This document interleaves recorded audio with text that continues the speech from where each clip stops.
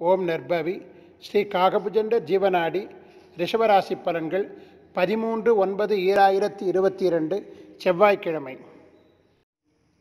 அண்டமே போற்று பெந்தன் அழகினான் திருத்தாளேத்தி. மண்டலம் பிரசன்ன நூல் மகிழ் சப்த முனிகள் சூழ. கண்டுமே ராசி பலனும் கவினித்தை அருள்வாம் கேளும். உலகமே போற்றி கொண்டிருக்கக்கூடிய எல்லாம் வல்ல இறைவனுடைய பொற்பாத கமலங்களை பணிந்து வணங்கி சப்த ரிஷிகள் புடைசூழே உலகத்தின் ஆதி குருவாக விளங்கக்கூடிய காகபுஜண்டனாகிய யான் இந்த குழந்தைக்குண்டான இன்றைய தினராசி பலன்களை அருளுகின்றேன். எனதருமை சீடனே கோரக்கனே கேட்பாயாக என்று குருவானவர் சீடருக்கருள் ஆரம்பிக்கிறார் மண்டலம் பாலதற்கும் புவி குடும்ப மேன்மை உண்டே.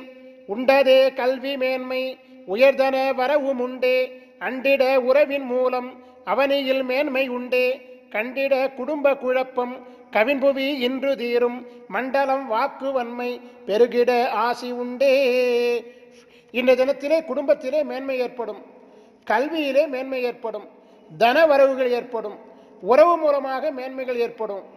குடும்ப குழப்பங்கள் எல்லாம் இன்றைய தினம் தீரக்கூடிய பாக்கியம் ஏற்படும். வாக்கு வன்மை ஏற்படும். அதாவது பேச்சாற்றலினால் சிலதை சாதிக்கக்கூடிய பாக்கியம் ஏற்படும். உண்டதே இன்றைய நாளில் உயர்நலன் பெற்று ஓங்க கண்டிடு நல்வினை மார்க்கம். கவின்புவி உரைப்பான் கேளும். அண்டியே சைவ உணவுண்டு அருளீசன் பதத்தை வேண்டி மண்டலம் திருமுறைதானம் ஈந்தாசி பெருக முற்றே. இந்த நன்னாளிலே ஊழ்வினையின் தொடர்ச்சியினாலே சில தொல்லைகளும் ஏற்படலாம். அந்த தொல்லைகளிலிருந்து தம்மை தற்காத்துக் கொள்வதற்காக ஒரு சாந்தி பரிகாரத்தை சொல்லுகிறேன்.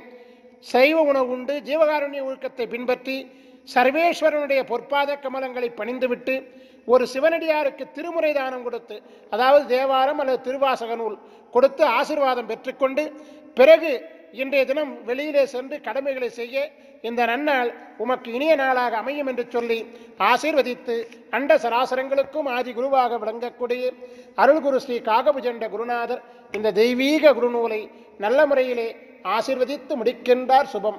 அருளாசிகள் அருளன்புடன் ஸ்ரீ பாஸ்கரே மகரிஷி. ஓம் நர்பாவி.